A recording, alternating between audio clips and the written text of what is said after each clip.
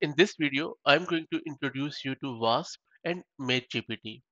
MageGPT is one of the best AI coding assistant out there, and one of its specialty is that it is geared towards building full stack web application in JavaScript and Node.js and this makes it really cool because other coding assistants they are good at creating simple or medium complexity applications but when it comes to building a full stack application which means from bottom up from front end back end and integrating them those ai coding assistant they struggle but this Mage GPT or which is built on wasp works like a charm this wasp which stands for web application specification is a Rails-like framework for React, Node.js, and Prisma. Now, there are a lot of other good things about this WASP.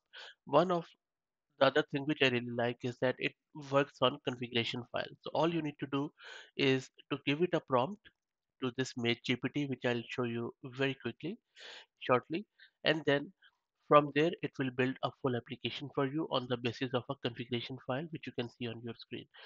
You don't have to write this. This will be created by the tool itself.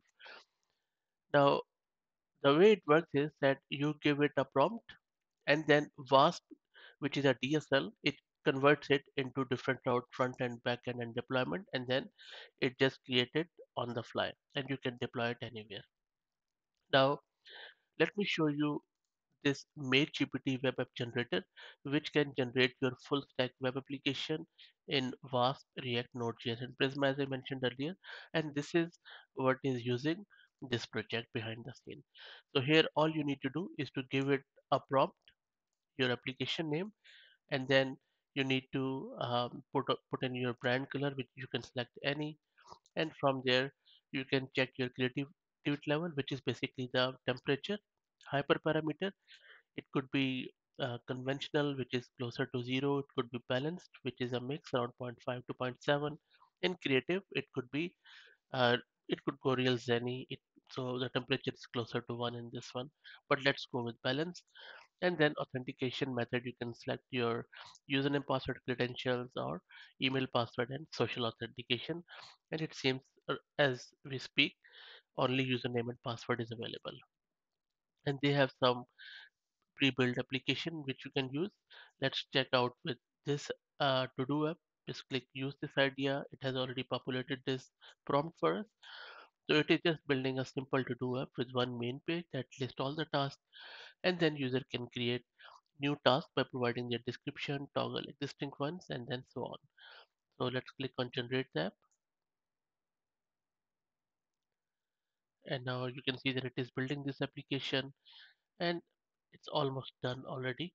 And it has created this configuration file, which I was showing you earlier, where it is telling you how it, it is going to appear in the browser and then all the routing that login page sign up route and so on and you can check all the source code here in the layout in the main.css it has created login.jsx and signup.jsx for you too. So the full application is there. All you need to do is to go and deploy it anywhere like fly.io or wherever you like. You can even get a shareable link from here. So and it is also giving uh, you the steps which it is doing at the moment. You can also expand the logs if you like, just clicking here and it will give you the whole log how it is working. Fairly cool.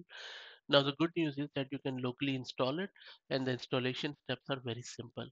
Let me show you.